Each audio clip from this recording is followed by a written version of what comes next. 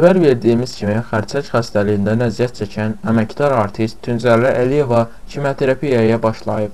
Saçlarını kəsdirən aktrisaya həyat yoldaşı Royal da başını keçəl etməklə dəstək olub. Səhhətindəki son vəziyyətlə bağlı unikal orqa açıqlama verən Tünzalə Əliyeva xəstəliyin metastaz verdiyini bildirib. Kimya aldığım üçün saçım töküldü. Hələ ki səhhətim yaxşıdır. Amma bilirəm ki, kimya verilsə, səhhətimdə ciddi problemlər olacaq.